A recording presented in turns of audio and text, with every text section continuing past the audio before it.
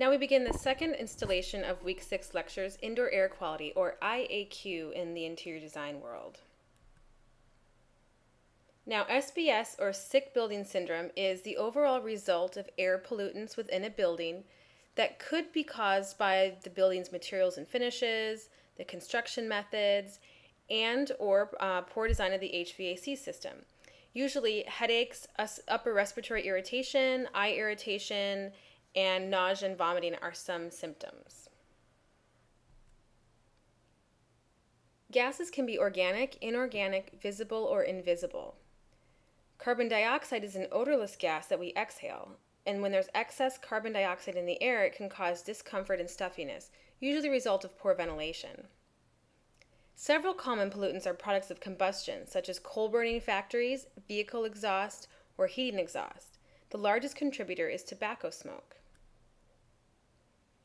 Ozone is an irritating pale blue gas made of three oxygen particles that are explosive and toxic even at low concentrations. The gas could come from copy machines, electrostatic air, air cleaners, or high voltage electric equipment. It can be prevented with proper ventilation. Tobacco smoke is the most common indoor air pollutant. And soil gases include methane and other gases released by decomposing garbage in landfills or leaking sewage lines that can be both toxic and explosive. Some odors may not be unhealthy, but can cause headaches, nausea, and loss of appetite. VOCs, or volatile organic compounds, tend to evaporate at room temperature and contain carbon.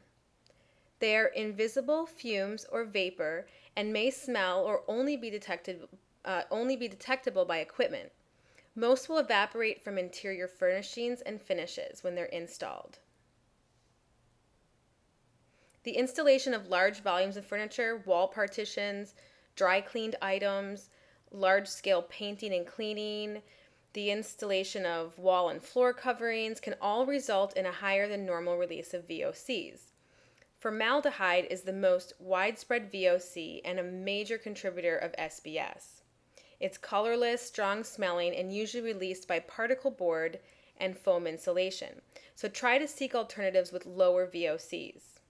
There are green products for fabric, carpeting, ceiling tiles, and other things that do have low VOC content. Some tips in controlling VOCs to keep your clients healthy are using the maximum amount of outside air ventilation during the installation process. Now, don't channel this through the HVAC system, but allow a direct exit through a window. Operate the building at the lowest possible temperatures to slow the release process. Try to age materials prior to installation, meaning open the boxes and let them air out before you put them in the building. And you can also try for a bake out period that should usually be done by a professional, but it's where you install all the finishes, seal the building, bring the heat to 80 degrees, and then ventilate for 72 hours to one week. Now, there are also biological contaminants, not just chemical contaminants that we just talked about.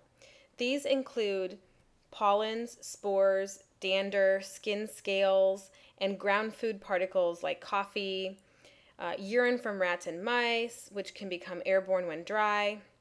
And there are several things that these things will need to grow indoors. First of all, a, a source, um, water or humidity, nutrients like skin cells, and favorable temperatures. Now, these are often the result of inadequate prevention and maintenance. And Try to avoid specifying furnishings that will collect dust, especially if they cannot be washed with hot water.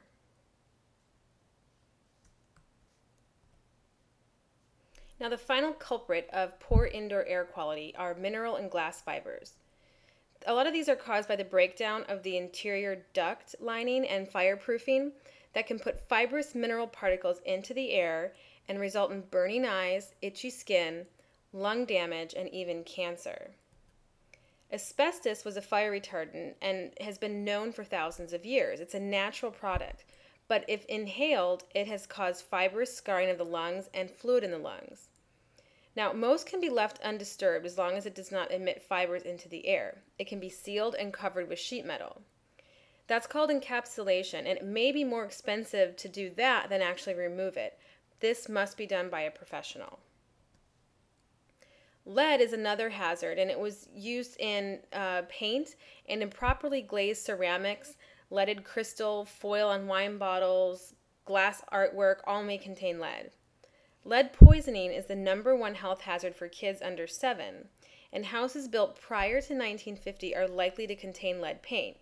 This should definitely be identified and then removed by a professional. If the surface is clean and not cracked, then it could be encapsulated. All right, that's all we have for indoor air quality.